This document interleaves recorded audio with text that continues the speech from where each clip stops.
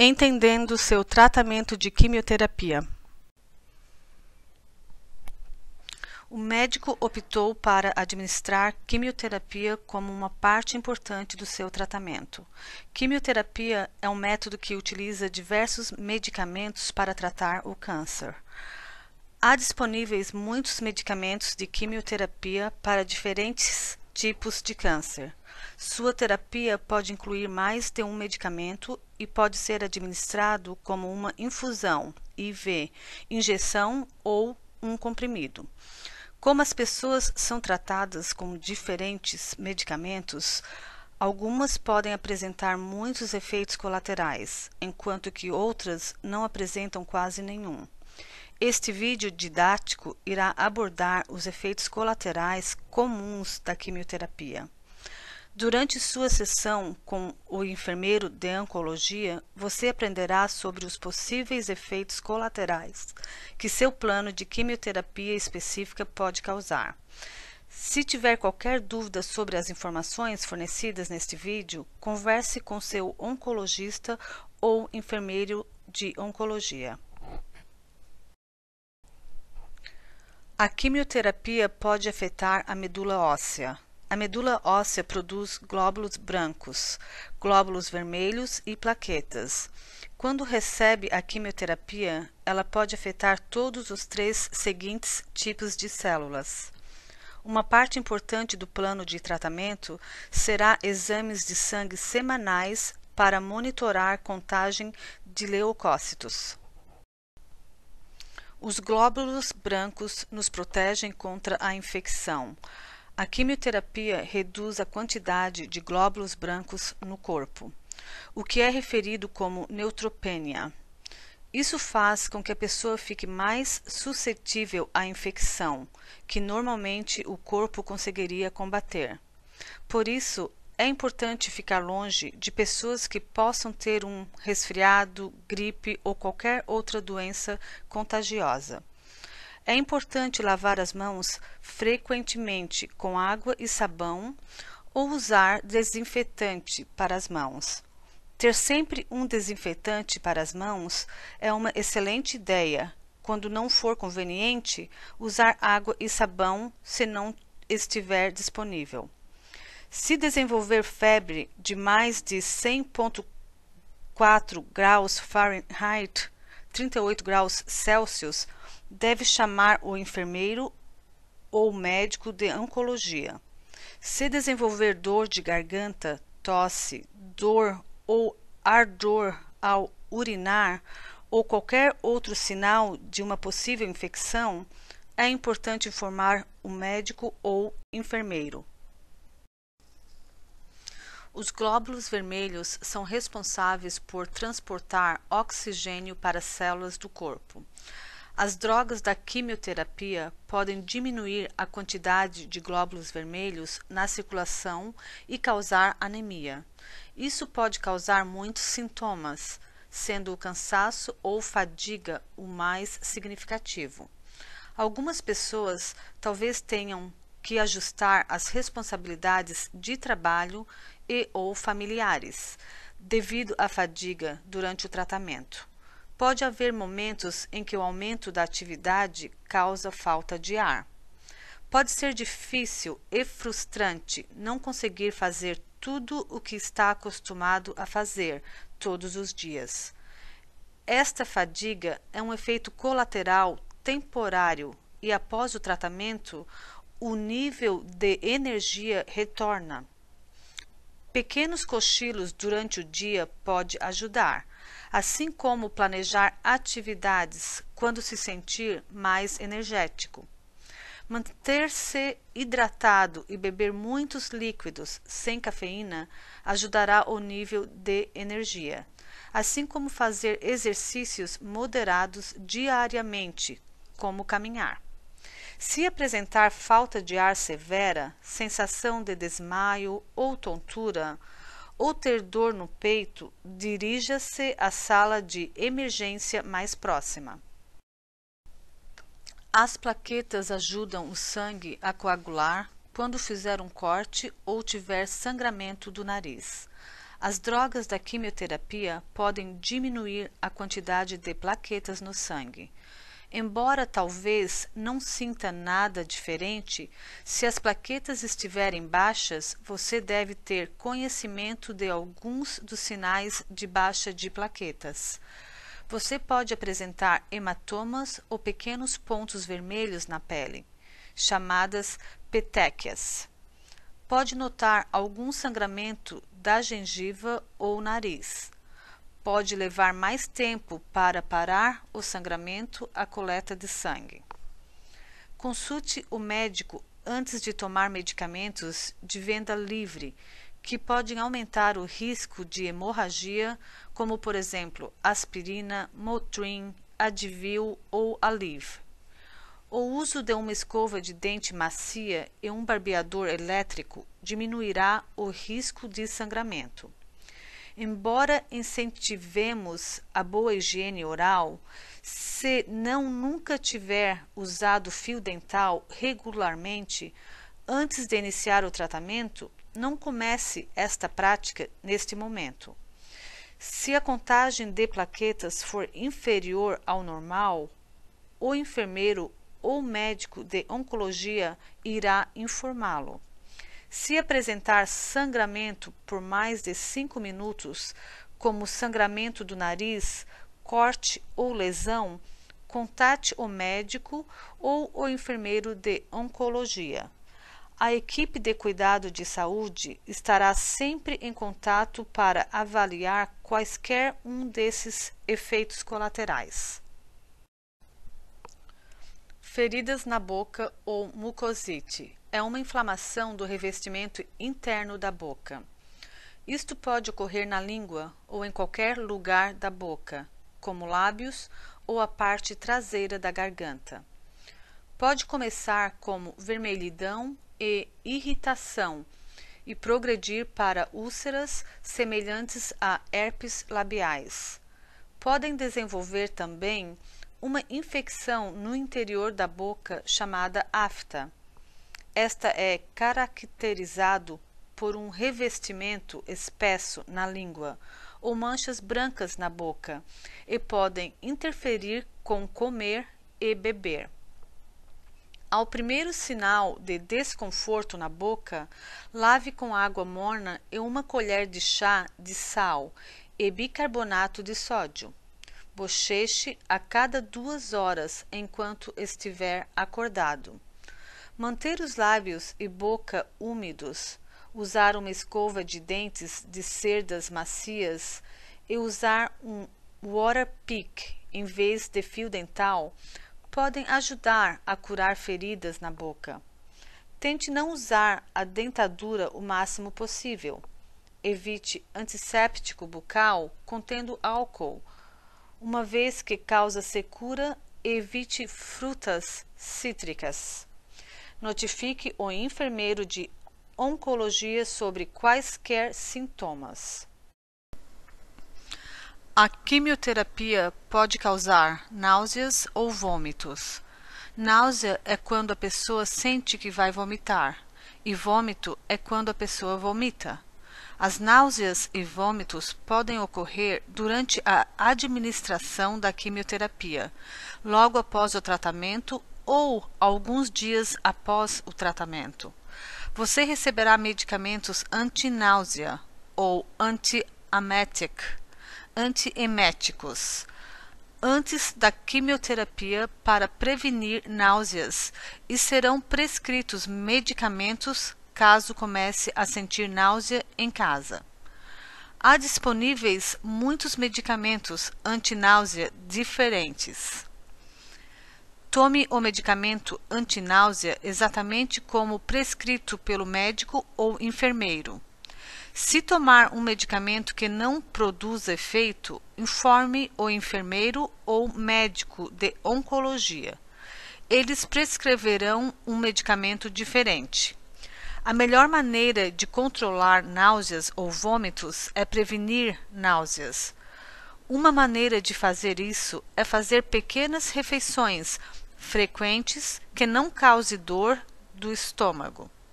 Tente evitar alimentos com cheiros fortes, como peixe, alho, cebola ou café.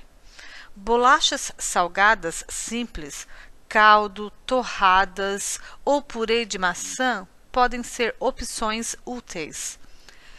De 5 a 6 refeições pequenas podem ser mais fácil de serem digeridas do que três refeições grandes.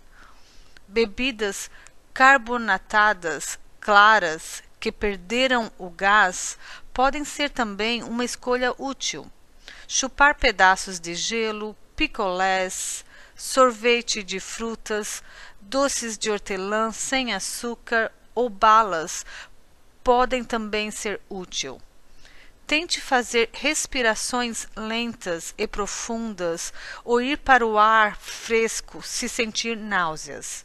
Às vezes, distrair-se conversando com amigos, ouvindo música ou assistindo TV também pode ajudar. A diarreia é definida como o aumento do volume de fezes soltas e ou aquosas, aproximadamente três ou mais vezes do que o habitual. Algumas drogas da quimioterapia podem causar diarreia. A enfermeira informará se o tratamento pode causar diarreia. Se tiver diarreia, aumente a ingestão de líquidos para mais do que os oito copos sugeridos por dia. Tome Imodium conforme instruído pelo enfermeiro. Se a diarreia grave não for tratada, pode levar à desidratação, atraso no tratamento ou hospitalização. É importante anotar quantas vezes por dia teve fezes soltas e os medicamentos que está tomando para controlar, para que a enfermeira possa determinar se o tratamento foi eficaz. Constipação é quando as fezes ficam muito duras e seca e o padrão habitual dos movimentos intestinais diminuiu. A constipação é um problema comum em pacientes com câncer e ocorre em 50 a 95% dos pacientes.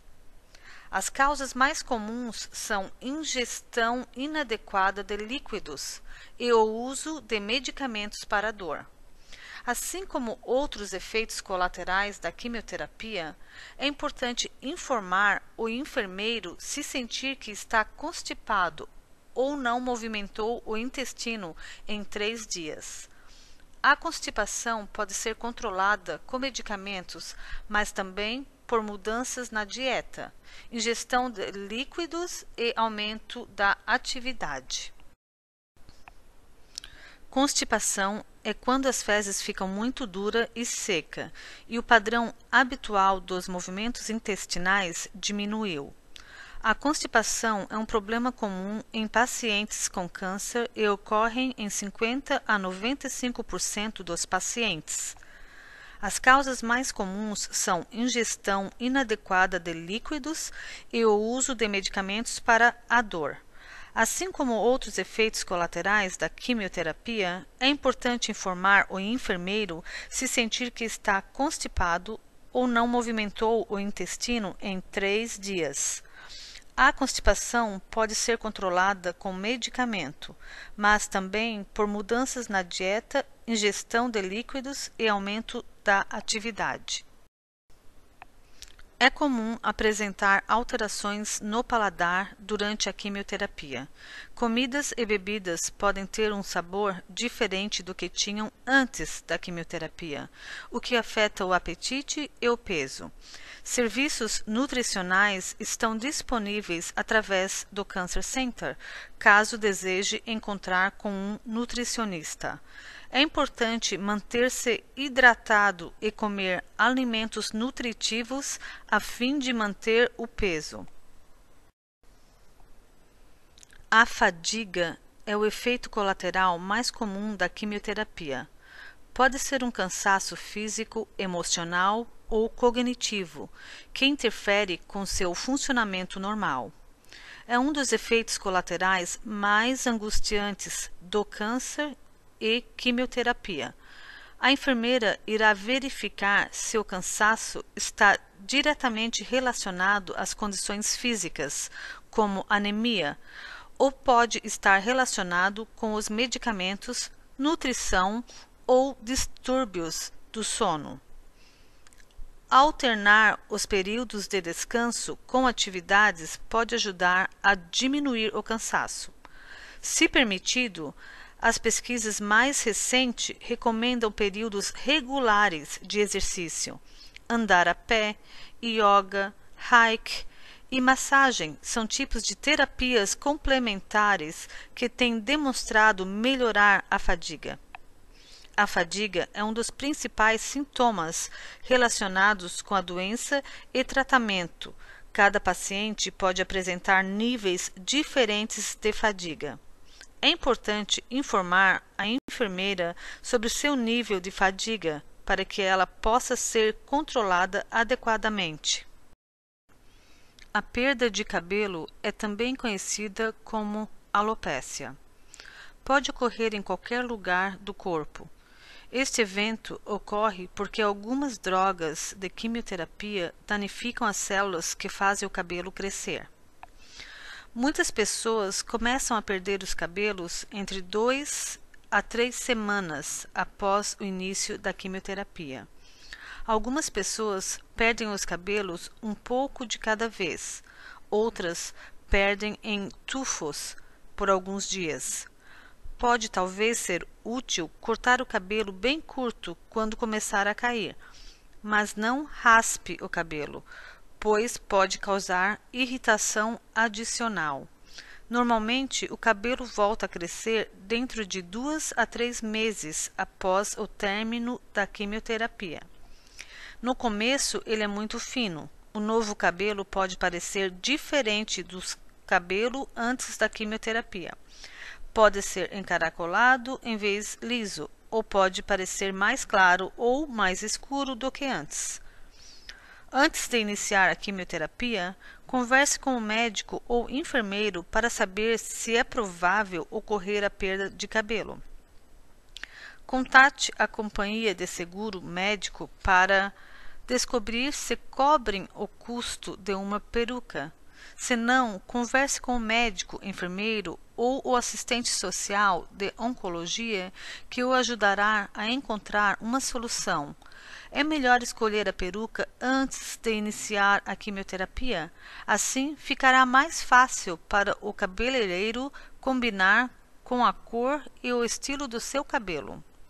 Durante e após a perda de cabelo, certifique-se de proteger o couro cabeludo. Proteja o couro cabeludo cobrindo-o com um chapéu, lenço ou turbante. Pode-se sentir mais frio mais frequentemente e cobrir a cabeça pode ajudar a se manter aquecido. Passe sempre protetor solar para no couro cabeludo e evite tempos extremamente quentes ou frios. Evite camas de bronzeamento. Talvez seja mais confortável dormir em uma fronha de cetim uma vez que há menos atrito do que as de algodão. Certifique-se de falar sobre seus sentimentos com uma enfermeira, médico, amigo ou outra pessoa que tenha perdido os cabelos devido ao tratamento do câncer, caso se sinta irritado, deprimido ou envergonhado com a perda de cabelo. A quimioterapia pode causar danos ao sistema nervoso. Muitas vezes, esses problemas podem se resolver dentro de um ano após o término da quimioterapia, mas podem ser permanentes. É importante informar o enfermeiro ou o médico quando surgirem os primeiros sinais da neuropatia para que possa ser tratada. Os sintomas da neuropatia podem incluir formigamento, queimação, fraqueza ou dormência nas mãos ou pés, um sentimento de picadas de alfinetes e agulhas, dor ao caminhar, músculos fracos, cansados ou doloridos, ficar desajeitado ou perder o equilíbrio, dificuldade para pegar objetos ou abotoar as roupas, tremores, perda de audição e confusão ou perda de memória. Não se esqueça de informar a enfermeira sobre esses sintomas. Se estiver em idade fértil, converse com o médico sobre fertilidade. É importante discutir esse tópico antes do início do tratamento. Há muitos fatores que contribuem para problemas de fertilidade, como, por exemplo, se já ocorreram problemas anteriormente, o tipo de quimioterapia que está recebendo e a idade. Não tente engravidar durante o tratamento. Após o término do tratamento, converse com o médico sobre quando será seguro considerar a gravidez. Alguns tipos de quimioterapia podem causar alterações sexuais. As mudanças podem ser diferentes para homens e mulheres. As mulheres podem sofrer danos nos ovários, o que pode causar alterações hormonais. Estas alterações hormonais podem levar à secura vaginal e menopausa precoce. Os homens podem sofrer mudanças hormonais, o que poderia levar à impotência. Há muitos fatores que contribuem para esses problemas, como, por exemplo, o fato de já ter tido estes problemas antes, o tipo de quimioterapia que está recebendo e idade. Alguns problemas, como perda de interesse sexual, podem melhorar após a quimioterapia. Iremos agora falar sobre questões específicas para mulheres e homens. Alterações sexuais em mulheres. Os efeitos colaterais sexuais da quimioterapia incluem não conseguir atingir o clímax, se sentir demasiadamente cansada para o sexo e menopausa precoce. Os sintomas da menopausa podem incluir afrontamentos, secura vaginal, irritabilidade, períodos menstruais irregulares ou não existentes, infecção de bexiga ou vaginal, corrimento vaginal e perda de interesse em sexo. Converse com o médico ou enfermeiro e pergunte se está liberada para ter relações sexuais. Converse com o médico sobre cremes vaginais para secura ajude a prevenir o ressecamento e infecção vaginal usando calcinha de algodão e evitando calças apertadas, e usando um lubrificante vaginal à base de água.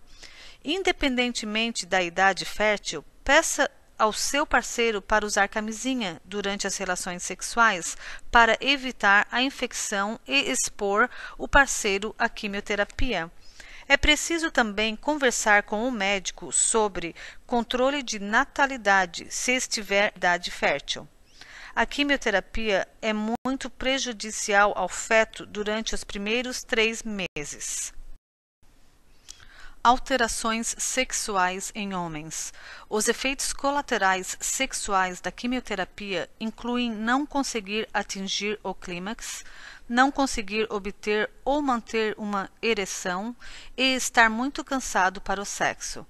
Converse com o médico ou enfermeiro sobre suas preocupações e pergunte se está liberado para ter relações sexuais. Também não se esqueça de falar com o médico sobre controle de natalidade, independentemente da sua idade fértil. Use camisinha durante as relações sexuais para evitar a infecção e expor a parceira à quimioterapia. Mudanças nas emoções para você, sua família e amigos são completamente normais. Você pode sentir toda uma variedade de emoções durante o diagnóstico e tratamento. A enfermeira pode encaminhá-lo aos serviços sociais caso necessite ou deseje falar com uma pessoa a qualquer momento durante o tratamento. O Cancer Center também oferece grupos de apoio. Esperamos que este material respondeu algumas perguntas sobre os possíveis efeitos colaterais da quimioterapia será feito um agendamento para uma sessão adicional de instrução sobre quimioterapia com uma enfermeira da sala de infusão médica. Nesta consulta serão discutidos os efeitos colaterais específicos da sua quimioterapia, bem como o programa de tratamento. Ligue para estes números de telefone caso tenha dúvidas ou preocupações.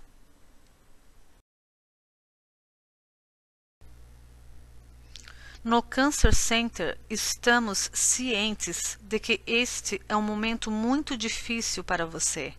Estamos aqui para apoiá-lo durante o tratamento. Entre em contato caso tenha quaisquer dúvidas ou preocupações para que possamos ajudá-lo. Queremos que saiba que você não está sozinho.